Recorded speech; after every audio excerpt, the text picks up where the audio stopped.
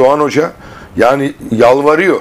Yani deniz yükseliyor. Ya- yarınlarda da basmaneye kadar deniz gelirse şaşırmayın falan Evet, evet. diyor.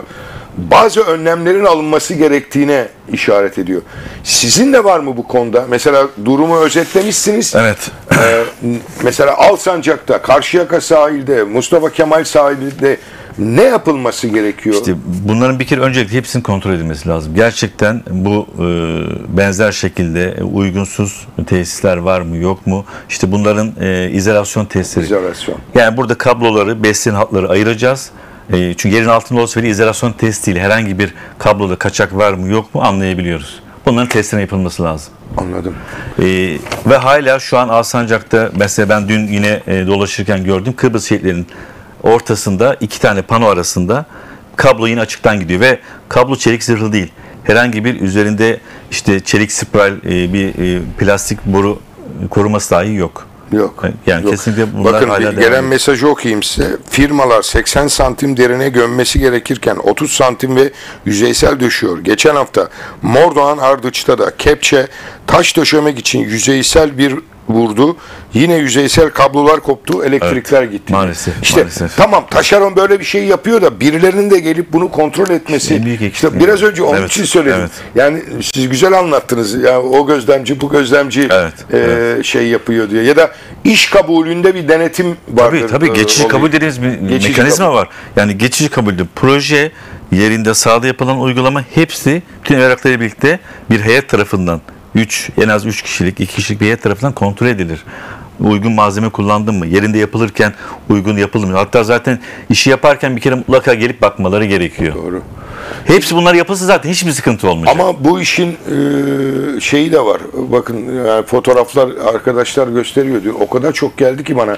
Kemeraltı içinden şeyden e, şeyi soracağım. Ömür olayı da var bu işte. Yani mesela binalardaki tesisatlar, işte yollardaki Evet, tesisatlar evet, evet. böyle bir ömür olayı var mı? Yani mesela Mesela binalarda şimdi vatandaş soruyor evlerdeki elektrikler de kaçak yapıyor bazen Evet, diyor. evet. Bir ömür meselesi var mı gerçekten? Ya Evladiyelik değildir herhalde Tabii tabii bunlar. tabii. Yani sonuçta onlar zaten e, dediğim gibi e, ama uzun süre o anlamda e, yani be- belli bir yıl şu an söyleyemiyorum açıkçası. Tabii. Onunla ilgili tam bir bilgim yok. Yanlış da yönlendirmiyorum ama sonuçta 10 yıl 20 yıl bunlar dayanan e, şeyli kablolar. Bir de sürekli sağlıklı. kontrol edilmesi Tabii sürekli gereken. kontrol edildiği zaman zaten şöyle olacak. Şimdi kablonun belli bir süresi var diyelim 10 yıl. Siz bunu 8. yılda kontrol ettiniz. İzolasyonu zayıflamış o zaman değiştireceksiniz zaten. Bunları kontrol yaparsa ortaya çıkacak. Bütün Bütün mesele- şey bu. bütün mesele- Denetim, kontrol. Gerekirse kamu eliyle bu denetimin yapılması lazım. Biz oda olarak da bu desteği vermeye hazırız. Özellikle bunun altını çizeyim. Peki e, son olarak bu, bu acı olay yani ilk değil umarım son olur. Dilek e, sadece Evet, bu ama evet. e, burada ben şahsi e, dileğimi söyleyeyim. Bizim ihtisas odaları artık biraz da sopayı eline alsa mı diye düşünüyor Ya değilim. almak istiyoruz ama işte biliyorsunuz son dönemlerden odalarla ilgili de çok e, bizim e, denetim mekanizmamızı bizde biliyorsunuz önceden proje denetleme yetkimiz vardı. Onları elimizden aldılar. Yani bizi açıkçası oda olarak Biliyorum. çok fazla e, sahada görmek istemiyorlar ama biz e, bundan sonra daha çok sahada yer alacağız. E, sesimizi duyurmaya devam edeceğiz. Başka insanlar ölmesini istiyoruz. Ama halk sizin yanınızda. Sağ olun. Yani sağ olun. gerçekten bunu söylüyorum. Hatta şöyle söyleyeyim. O kadar e, sinir bozukluğu yaşandı ki cuma cumartesi insanlar şunu dedi. Demek ki ona alışmışlar. Ya elektrik mühendisleri odası görmemiş mi?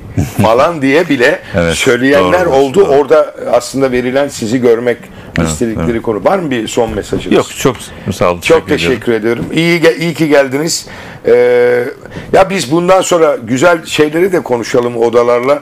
Ben odalardan Umarım, konuk umarım. geldiği zaman e, gerçekle yüz yüze geliyoruz. Hep ya. kötü şeylerle ge- gelmeyelim, iyi şeylerle değil de mi? bir araya gelelim. Çok teşekkür ediyorum. teşekkür Efendim ediyorum. e, bugünlük e, bu kadar. E, yarın var mı konuk Cengiz, e, Tunç Bey herhangi